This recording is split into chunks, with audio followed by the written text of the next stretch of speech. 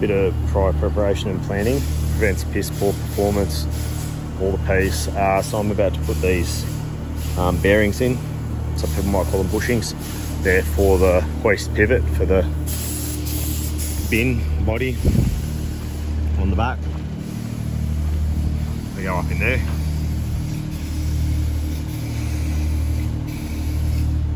Pretty idiot proof um, they're an interference fit so Raise them down with liquid nitrogen, steel will shrink, punch it in the hole until it sits flush on the face. So I've already gone through and measured how far they go in, make sure there is a gap in the middle, but there's a little notch that'll line up with the grease port and then allow the grease to go all the way around. Um, yeah, that's about that. Let's get to it.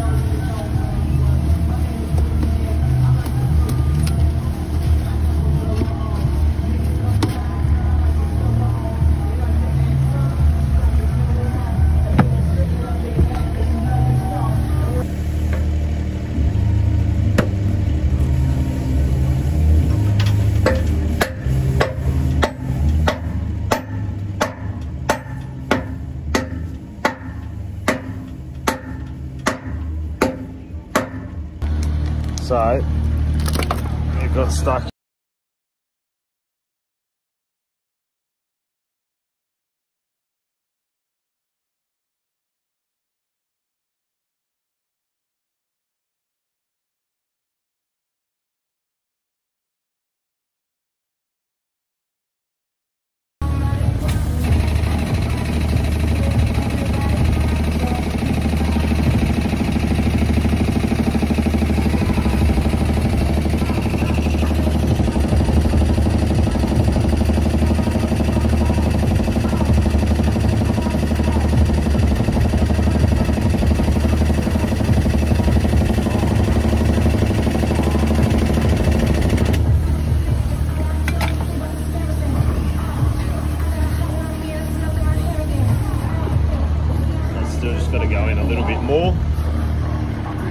I'll just put a spacer in there soon as it goes in nice and easy and uh, that'll pull that in, then pull the other one in and Bob's your Arnie.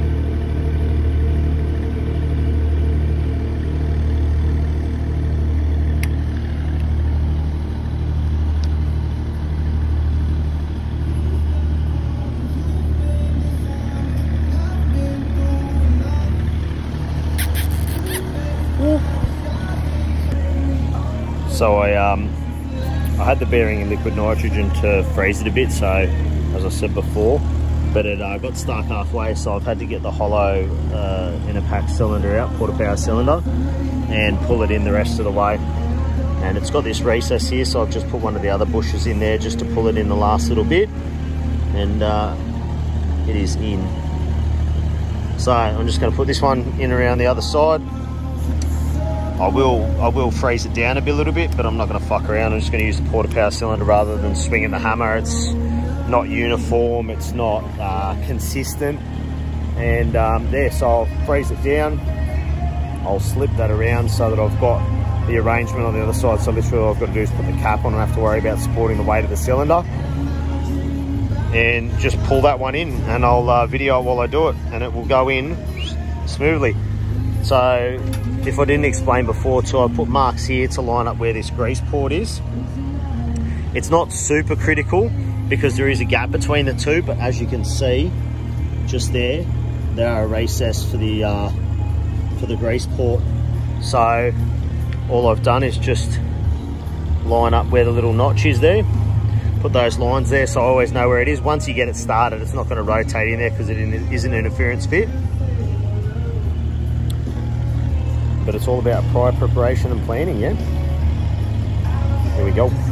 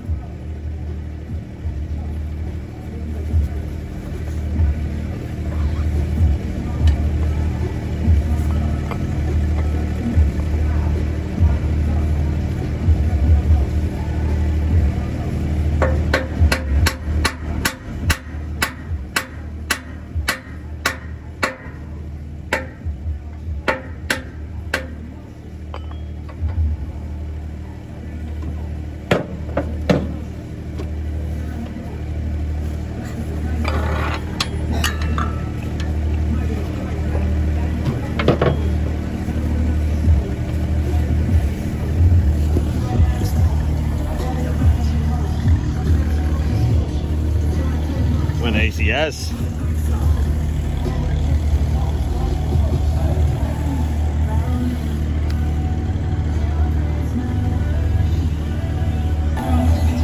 So that one went a little bit easier. I left it in liquid nitrogen a bit longer and it literally just slid in.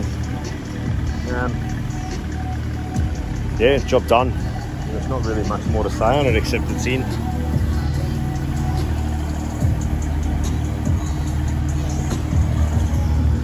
In just sitting past the recess of the lip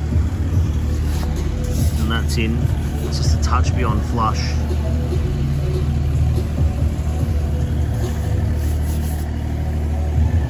So it's a little bit out on this flat face there.